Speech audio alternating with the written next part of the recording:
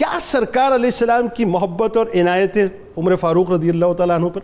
और क्या आपका सरकार सलाम से इश्क फरमाइए हुजूर नबी अकरम रहमत आलम सल्लल्लाहु अलैहि वसल्लम के साथ कायनात की हर शय से बढ़कर मोहब्बत करने वाले को कुरान ने मोमिन कहा। बेशक।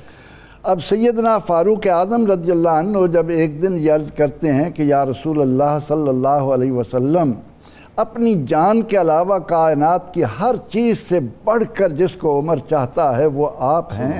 तो आप सल्लल्लाहु अलैहि वसल्लम ने फरमाया कि उमर अभी ईमान मुकम्मल नहीं हुआ। हाँ। उसी लम्हे अर्ज़ करते हैं या रसूल अल्लाह सल्लल्लाहु अलैहि वसल्लम मुझे आप मेरी जान से भी बढ़कर महबूब हैं। फरमाया अब ईमान मुकम्मल हुआ।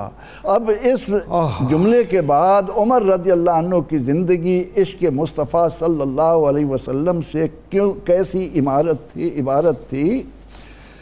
आप ये देखें कि जब भी कोई ऐसा मौका आया जिस किसी ने आका सलाम के मतलब कोई बात कही तो उमर की तलवार नियाम से बाहर आ गई। इजाज़त मांगी या रसुल्ला इसको मैं छोड़ूँगा नहीं। मुनाफिक का वाक़ा भी है ना। वो तो कुरान ने बयान किया। हाँ। साहबा फरमाते हैं कि जब हम आका सलाम की खिदमत में हाजिर होते तो इस तरह बैठते जिस तरह गोया इनके सरों पर परिंदे हैं। बिल्कुल ठीक। किसी की हिम्मत नहीं पड़ती थी कि आँख उठाकर चेहरा मुस्तफ़ा पर नज़र डाले। फरमाते हैं हम में दो साहबी ऐसे थे। आए आए। जो रसूलुल्लाह को देख कर मुस्कराते जिन्हें रसूलुल्लाह देख कर मुस्करा दोनों वज़ीर थे। और दोनों ज़मीनी वज़ीर थे सैदना फ़ारूक सैदना अबू बकर सिद्दीक और सैदना फ़ारूक हुजूर नबी अकरम रहमत आलम सल्लल्लाहु अलैहि वसल्लम के साथ फ़ारूक आज़म रज़ी अल्लाह के इश्क का अंदाज़ा जुनैद साहब इस बात से लगाएँ कि जब अल्लाह के नबी सलाम इस दुनिया से सधारने लगते हैं आलम आखरत की तरफ़ आपका आए, आए, होता है तो उमर रज़ी अल्लाह तलवार लेकर बैठ जाते अल्लाह अकबर। कि जो कहेगा रसूलुल्लाह वफात पा गए मैं उसका सर कलम गर्दन उड़ा दूँगा उसको हाँ। छोड़ूँगा नहीं। हम्म। आप सल्लल्लाहु अलैहि वसल्लम से हज़रत उमर रदी अल्लाह की मोहब्बत का अंदाज़ा हम यूँ भी लगा सकते हैं कि जिस जिस चीज़ की नस्बत रसूलुल्लाह से हुई उमर की वो महबूब बन अल्लाह अकबर। इस ज़मन में अगर पूरा प्रोग्राम इस बात पर किया जाए कि अहल बैत से उमर को कितनी मोहब्बत थी और अहल बैत उमर से कितनी बताइए ना कुछ तो बताइए।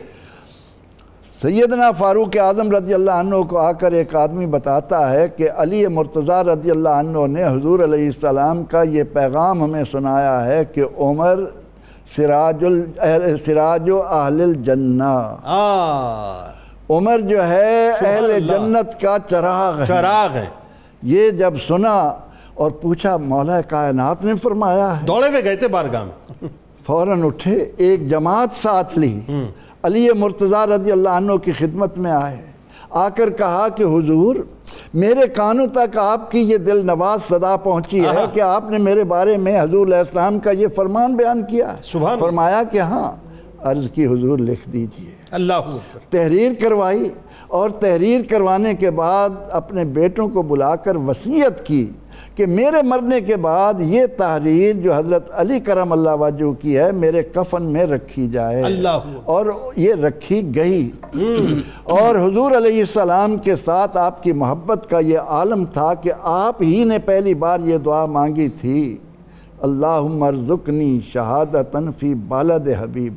अल्लाह अल्लाह मुझे अपने महबूब की मोहब्बत भी अता कर और अपने महबूब के शहर में शहादत भी अता कर।